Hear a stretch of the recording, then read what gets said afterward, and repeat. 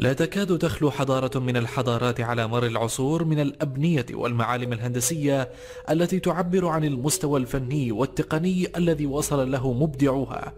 في العصر الحالي ساعد التقدم التكنولوجي على تشييد معالم هندسية لا تقل في عظمتها عن العجائب المعمارية القديمة كناطحات السحاب والبنى التحتية العملاقة.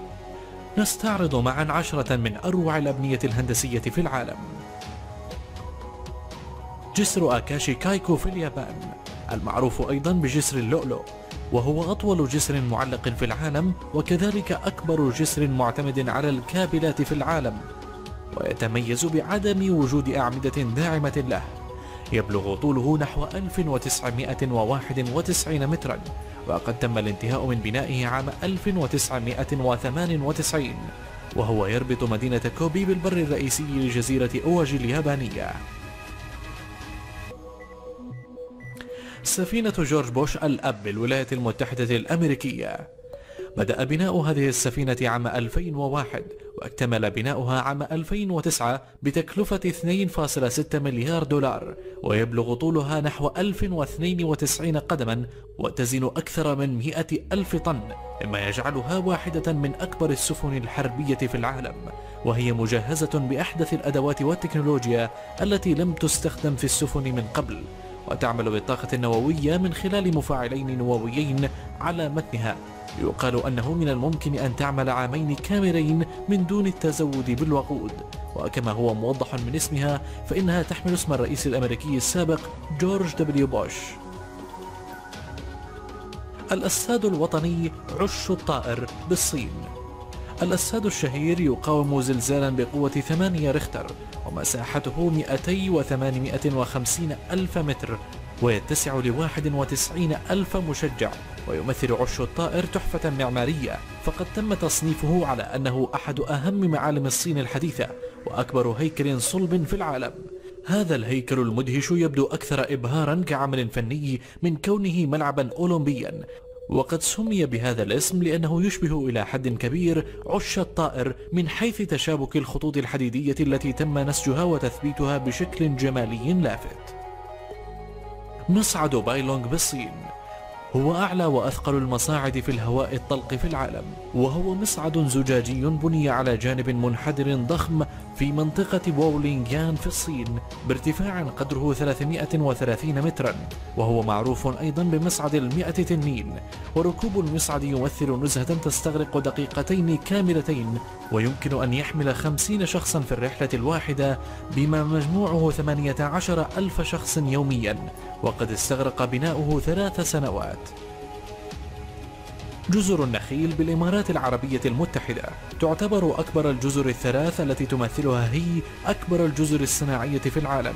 لتشكل شكل نخلة تتألف من ساق وتاج ذو 17 ورقة وتحيطها جزيرة هلالية الشكل تعمل كحاجز للماء إجمالا. وتحتوي الجزيرة على أكثر من 60 فندق مزخرف وأربعة آلاف فيلا سكنية وألف منزل مائي وخمسة آلاف شقة على حدود الشاطئ وحدائق للألعاب المائية ومطاعم ومراكز للتسوق وصالات رياضية ودور للسينما ومواقع متنوعة للغوص. محطة الفضاء الدولية. شارك في بنائها العديد من الشركات الهندسية حول العالم ووصل عدد العاملين على المشروع لأكثر من مئة ألف شخص قضوا معظم وقتهم في الفضاء. وتصل مساحة المشروع إلى 43 ألف متر مكعب وسيكون بمقدور 90% من سكان الأرض رؤية المحطة بالعين المجردة عندما يتم الانتهاء منها.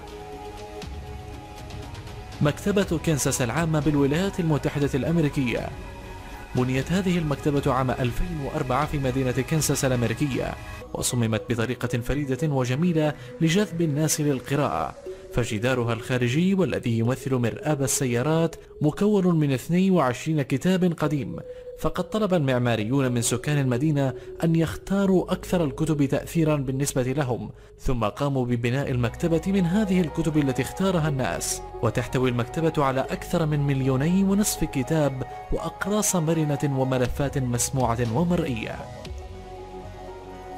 مركز العدل المدني بالمملكة المتحدة. أكبر مبنى مصنوع من الزجاج في العالم حيث تم استخدام أكثر من 11 ألف متر من الزجاج في بناء الواجهة الرئيسية للمبنى الذي يقع في مدينة مانشستر بإنجلترا.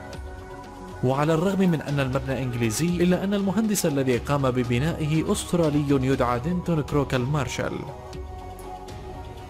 المدن الخضراء العائمة من العجائب المدهشة فكرة إنشاء العديد من الجزر العائمة وإقامة مدينة صديقة للبيئة بها وتهدف أيضا إلى معالجة مشاكل الإسكان وهي مدينة مكتفية ذاتيا تهدف إلى توفير المأوى للسكان مع تغير المناخ في المستقبل وكل واحدة من هذه المدن العائمة بإمكانه استيعاب أكثر من خمسين ألف شخص. برج خليفة بالإمارات العربية المتحدة. أطول بناء في العالم حاليا ومن المعالم الحضارية الأكثر شهرة في العالم.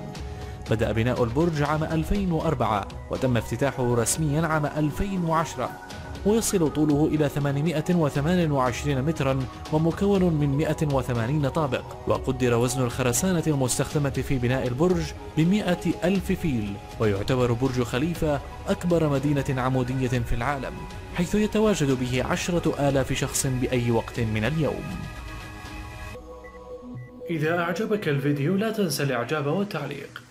ولكي يصلك كل جديد اشترك الآن.